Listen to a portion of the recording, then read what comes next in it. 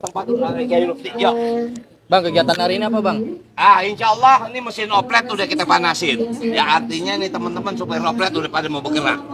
Inilah antusias masyarakat.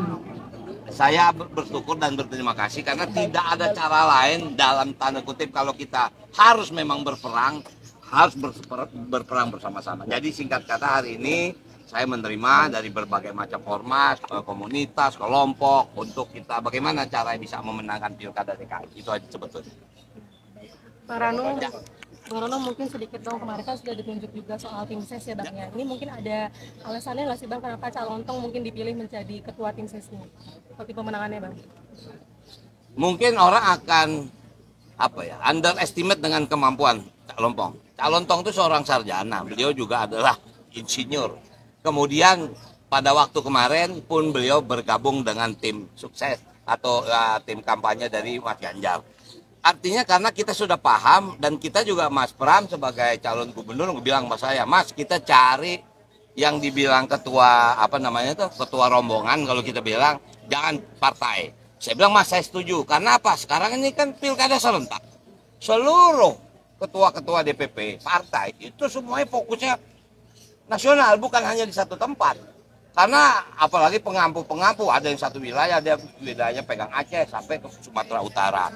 Dari Sumatera Barat dia pegang dua ke Jambi. Jadi nggak mungkin kita mengharapkan atau minta kepada DPP bahwa ketua tim harus dari partai itu saja. Itunya. Tadi kan juga masuk eh, Mbak Kusnaidi juga sama Pak Sarah ya. Ya, ya, oke. Untuk mungkin Maudi mungkin saya harus klarifikasi. Dia ingin sekali sebetulnya. Cuman kan dia bilang, Bang, aku kan di Bali. Satu. Kemarin tuh, Bang.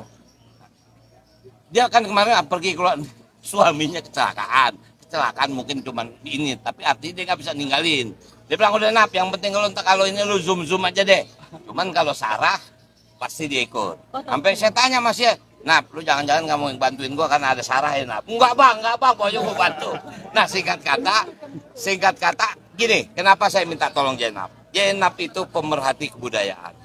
Saya tahu sekali bagaimana dia bahasanya habis-habisan untuk ada di kebudayaan Betawi. Dia punya ya mungkin yayasan Abang None. Dia punya konsep tiap tahun bikin pagelaran rugi melulu.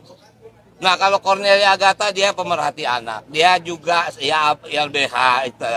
Ini saya perlukan pemikiran-pemikiran itu karena saya bilang, Nap, Sarah, abang mau bikin balai rakyat. Dulu zaman abang kecil balai rakyat di Jakarta itu minimal di satu kecamatan. Sekarang udah pada rubuh.